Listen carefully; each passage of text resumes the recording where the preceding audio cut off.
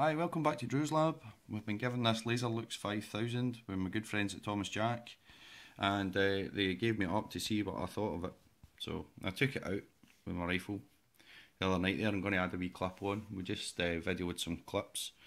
Uh, we compared it against uh, a Nightmaster. I sell both of these. They're both great units, I have to say here.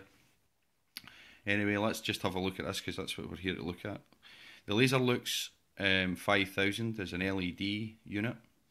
Uh, it is um, got two CR123 batteries in here rather than rechargeable batteries. It's got a nice wee toggle switch in here. It's like a wee flip lever rather than a button, which I quite like to use. We've got the focus ring here, which is really nice and smooth. It's a really good feature of this product. It, makes the beam. You can see there it's on. It's going to shine up on my camera just now. It's got a really big lens. It does weigh the same as its competitors. It is slightly bigger. Manufacturer says it's good for 600 metres. I could easily believe that.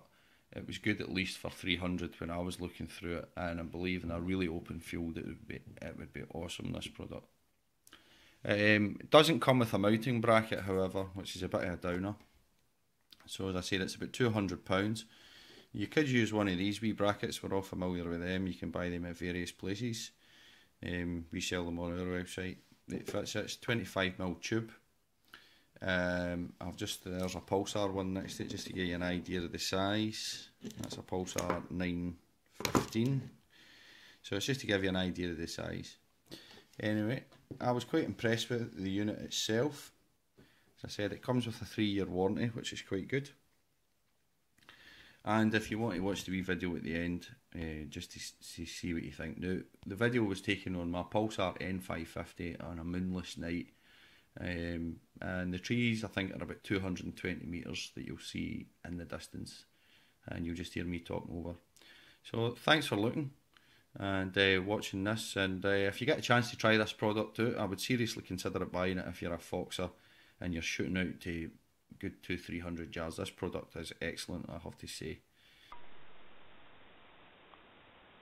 This is the Nightmaster 800 on the N550.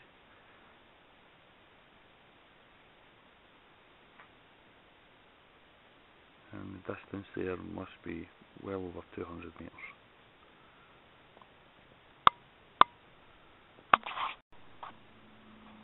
Uh, this is the Laserluchs 5000 on the N550 at the same bit.